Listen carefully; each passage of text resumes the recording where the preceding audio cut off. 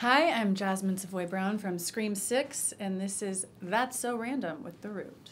I'm scared.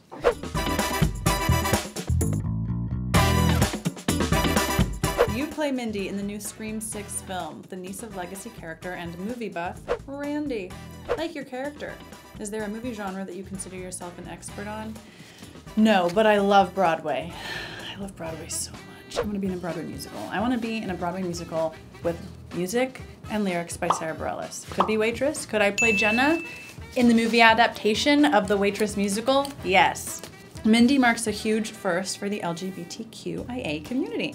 The first queer final girl of color in the slasher franchise. How does that make you feel? And what would you like to see in other horror franchises now that you've opened this door? So I'm so proud to be the first out queer character in this franchise and let alone a queer final girl of color in this franchise. I'm proud, I'm honored, I'm humbled, and I'm also like, it's not that big of a deal in the sense that it shouldn't be. And it doesn't feel like a big deal because it didn't feel like a big deal in the process. Part of the reason there haven't been a lot of queer women of color, final girls that look like me, etc., is because there's not a structure for it. And Scream and this group of people is helping change the narrative, helping change the industry. You're home alone and the phone rings. First of all, my phone is always on Do Not Disturb. Ghostface is on the line. What's your favorite scary movie? What's your answer? Here's my answer. Hello? I'm hanging up the phone. We're not talking. Both Mindy and Hayden Panettiere's character, Kirby, are horror movie experts. Who would win a trivia contest? Mindy, obviously. Mindy is Gen Z. She's quick witted. How old is Kirby? Kirby's old news. Last great advice you've gotten. Girl, get your teeth whitened. And I did. And isn't my smile so much better?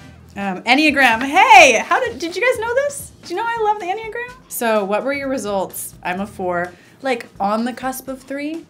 I oscillate between four and three. Three because I really am addicted to work and a perfectionist, but four because it has to look beautiful. And I'm like, I'm having a feeling. Everyone stop. Let's analyze my feeling. To be like, shut up. Sounds like Pisces shit. What's one thing you can admit you suck at? I'm not great at cooking.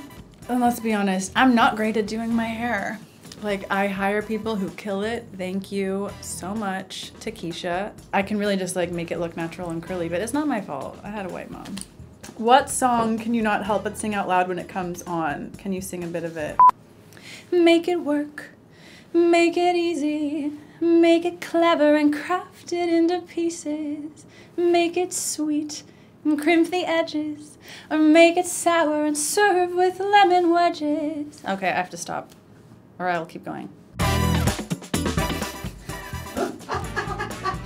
Um, that's the questions that we have. I think I've embarrassed myself enough.